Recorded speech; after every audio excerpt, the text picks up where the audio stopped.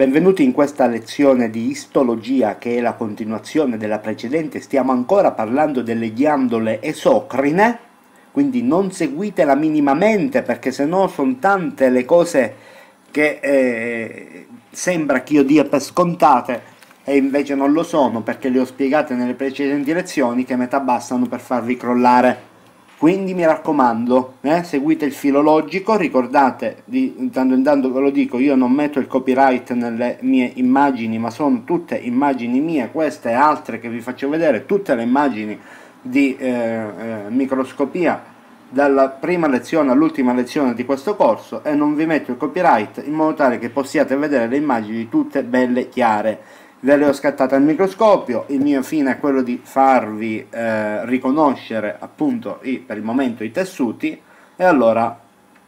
eh, però tenete conto del fatto che se volete utilizzarle per qualcos'altro me lo dovete chiedere. Allora continuiamo, mi raccomando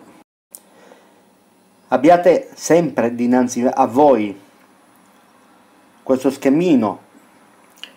con tutte le descrizioni e la spiegazione che vi ho, ho fatto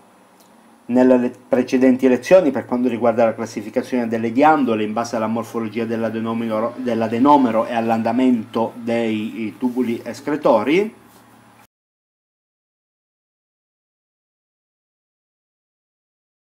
Allora, state bene attenti, vi ho scattato alcune fotografie, altre ve le farò vedere a breve, mi raccomando state attentissimi se no eh, se eh, naturalmente vi state approcciando adesso all'istologia vi perdete come niente.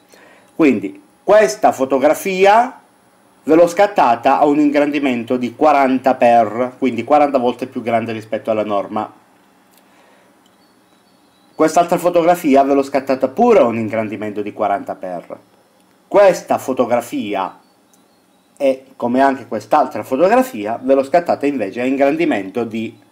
eh, questa qui di 100 per quindi 100 volte più grande della norma 100 ingrandimenti e questa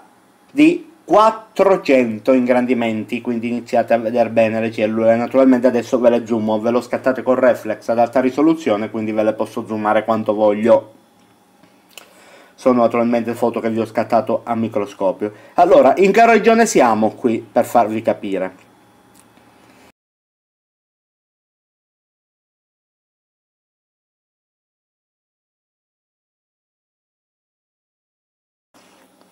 Quindi se dovessimo disegnare un po' in linee generali in questo preparato istologico che vi ho fatto a 400 ingrandimenti la nostra ghiandola tubolare, eh, semplice, quindi la nostra ghiandola gastrica, ecco sarebbe questa, e anche qua la stessa cosa.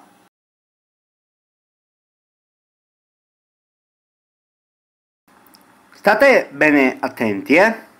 Io vi faccio vedere tutte queste immagini che vi ho preparato e scattato al microscopio a diversi ingrandimenti per far sì che voi abbiate maggiore familiarità e impariate, osserviate, osserviate, osserviate. Se, non, se poi non ve ne frega altamente niente, perché il vostro esame di istologia è un esame in cui non dovete fare nessun riconoscimento di tessuto,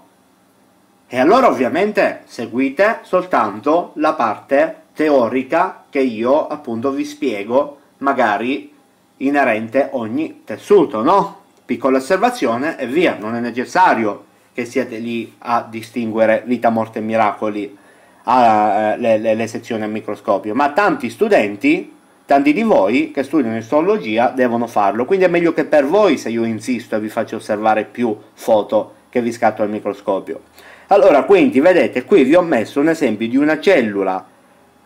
di una cellula principale più scura, eh? una cellula principale che si cerne pepsinogeno, e qui, anche qui in questo caso cellula parietale, la cellula, questo è un esempio di una cellula parietale che secerne acido cloridrico.